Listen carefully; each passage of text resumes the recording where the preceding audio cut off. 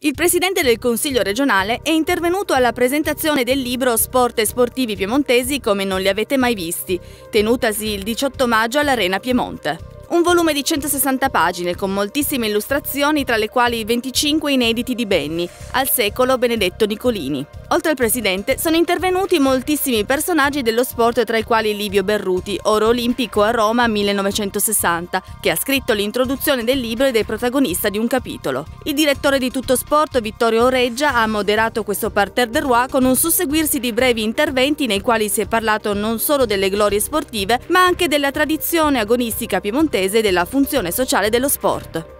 Livio Berruti, la tua impresa ha segnato un'epoca a Roma, sei un simbolo dello sport pulito e buono e questo libro forse può anche servire a dare un messaggio positivo. Sei contento di essere stato un, una parte così importante in questo libro?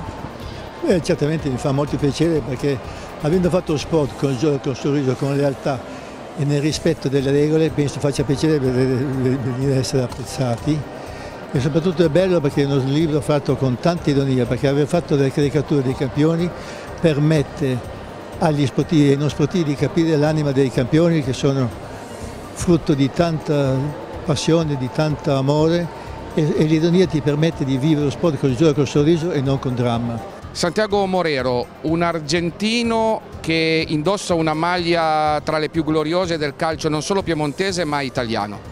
Sì, beh, per quello che mi è stato raccontato, dai, eh, i grigi sono una parte della storia del calcio italiano e quindi per me indossare questa maglia è una, una soddisfazione importante. No?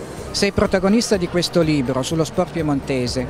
Qual è la testimonianza che tu dai portando lo sport piemontese in giro per il mondo con le tue capacità fantastiche, le tue medaglie? Ma certamente l'immagine di uno sport fatto di grandi sacrifici, di grande dedizione, di grande volontà e legato ai valori veri della vita, anche credo con grande semplicità perché penso che, che ricondurre un po' tutto poi all'umiltà sicuramente non faccia male all'immagine dello sportivo. Il rugby, sport eh, di regole, di vita, sport eh, di sportivi veri. Sì, è uno sport dove ci sono tanti valori e e che secondo me è completo, si, si, impara, si impara, anche diciamo, a, stare il mondo e, e poi alla fine il rugby diventa una famiglia.